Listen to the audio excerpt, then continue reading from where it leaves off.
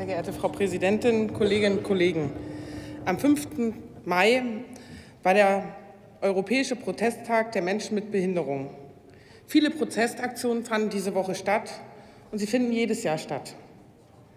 Heute, zu fortgeschrittener Stunde, reden wir über die Rechte von Menschen mit Behinderung. Und das leider nicht in einer Kernzeit oder zu einer aktuellen Debatte, sondern als einer der letzten Tagesordnungspunkte zum Antrag der Grünen. Der Artikel 3 des Grundgesetzes garantiert die Gleichheit vor dem Gesetz für alle Menschen und verbietet Diskriminierung. 1949 bestand der Artikel 3 Absatz 2 des Grundgesetzes lediglich aus fünf Worten. Männer und Frauen sind gleichberechtigt. Menschen mit Behinderung existierten im Grundgesetz damals noch nicht. Vor 21 Jahren wurde im Grundgesetz klargestellt, dass es keine Benachteiligung für Menschen mit Behinderung geben darf. Und ich möchte es noch mal sagen, niemand darf wegen seiner Behinderung benachteiligt werden. Und ich finde, die Aufnahme des Benachteiligungsverbotes ins Grundgesetz ist eine Bürgerrechtserklärung. Die vollumfängliche Umsetzung der Behindertenrechtskonvention in Deutschland muss diesen Ansatz konsequent verfolgen.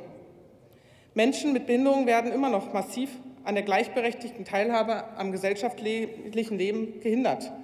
Wer zum Beispiel auf persönliche Assistenz angewiesen ist, darf nicht mehr wie 2.600 Euro ansparen. Menschen mit Behinderung leben teils in Sonderwelten. Ihr Umfeld ist in keinster Weise barrierefrei. Meine sehr geehrten Damen und Herren, vor gut sechs Wochen verabschiedete der UN-Ausschuss für, für die Rechte von Menschen mit Behinderung in Genf seine Empfehlung zur Umsetzung der Behindertenrechtskonvention in Deutschland.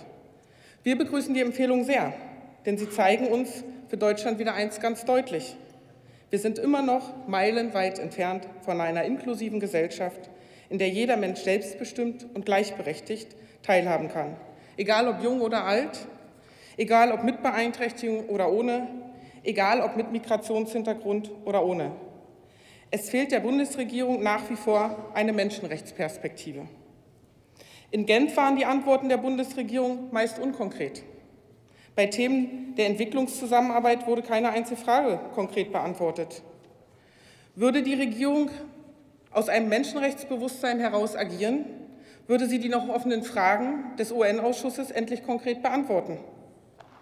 Die Linke sagt, wir brauchen eine Neufassung der gesetzlichen Definition von Behinderung als menschenrechtsbasiertes Modell. Wir brauchen bessere Maßnahmen, um Mehrfachdiskriminierung zu bekämpfen. Wir brauchen einen besseren Gewaltschutz für Frauen mit Behinderung. Wir brauchen für alle Kinder und Jugendliche Leistung aus einer Hand und nicht von verschiedenen Ämtern. Wir brauchen ein inklusives Bildungssystem und einen inklusiven Arbeitsmarkt und keine Abschiebung in Sonderwelten, wie zum Beispiel in Werkstätten oder Sonderschulen. Wir brauchen eine Reform des Betreuungsrechts. Wir meinen, Menschen, die unter Betreuung stehen, brauchen unterstützende Entscheidungsfindung und keine ersetzende. Wir brauchen eine gesetzliche Verpflichtung zur Barrierefreiheit, nicht nur im öffentlichen, sondern auch im privaten Bereich.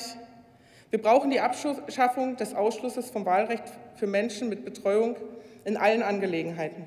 Das Wahlrecht ist Bestandteil jeder Demokratie. Menschen vom Wahlrecht auszuschließen, ist menschenrechtswidrig. Vielmehr brauchen wir hier ein barrierefreies Informationssystem. In knapp zwölf Monaten muss die Bundesregierung erneut darüber berichten, wie sie zur Umsetzung der Empfehlung, was sie zur Umsetzung der Empfehlung unternommen hat. Die Hausaufgaben sind groß. Die ersten sechs Wochen sind verstrichen. Geben Sie Ihr Bestes und von morgen an vielen Dank für die Aufmerksamkeit. Vielen Dank. Als nächste Rednerin hat Kerstin Tack von der SPD-Fraktion das Wort.